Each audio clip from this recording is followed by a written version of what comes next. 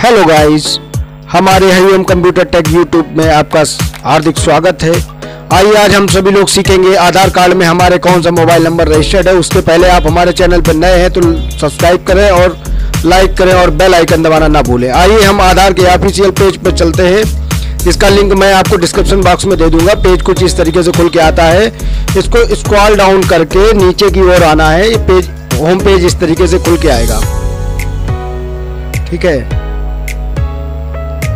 थोड़ा सा side problem कर रही है, थोड़ा सा धीरे धीरे धीरे पेज मेरा खुल रहा है। थोड़ा सा वेट कर लें। मैं ऑफिशियल पेज का लिंक आपको डिस्क्रिप्शन में दे दूँगा।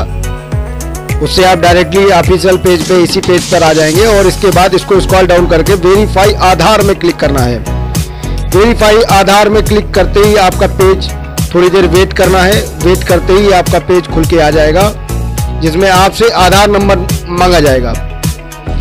बस ये पेज आपका खुल के आ गया इसमें आप सबसे पहले आप अपना आधार नंबर डालें, जिस भी आधार का आप मोबाइल नंबर चेक करना चाहते हैं कि इस आधार में किसका मोबाइल नंबर रजिस्टर्ड है या कौन सा मोबाइल नंबर रजिस्टर्ड है। उस आधार नंबर को आप यहाँ पर पूरा आधार नंबर डालें और नीचे कैप्चर डालें।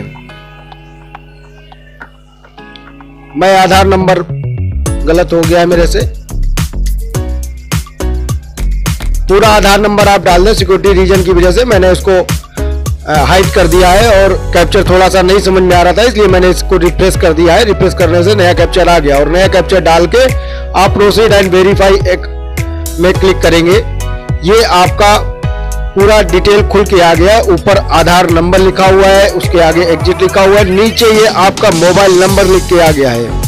मोबाइल नंबर के लास्ट के थ्री डिजिट आएँगे। इससे आपको पूरा हिंट मिल जाएगा कि हमारे आधार में अगर मोबाइल नंबर नहीं रजिस्टर्ड होगा तो मोबाइल के सामने इसमें N U double L null लिख कर आएगा। आप समझ लीजिए कि नुल अगर लिख के आ रहा है तो आपका कोई भी मोबाइल नंबर नहीं रजिस्टर्ड है। और अगर मोबाइल नंबर रजिस्टर्ड है तो इस तरीके से लिख के आएगा, जिसमें कि लास्ट की थ्री डिजिट आपको दिखाई देंगी। अगर आपका नंबर चालू है तो आप उस पर ओ भेज के देख सकते हैं। वीडियो अच्छा लगा हो तो लाइक करें शेयर करें और प्लीज़ दबा के कमेंट करें। बेल आइकन दबाना ना भूलें। और होने वाली असुविधा के लिए आप मुझे कमेंट कर सकते हैं। मैं आपका हर एक कमेंट का जवाब दूँगा। आप अपना प्यार ऐसे ही हमारे YouTube चैनल के लिए बरकरार रखें। वीडियो अच्छा लगा हो तो लाइक करें फिर से एक बार। धन्यवाद।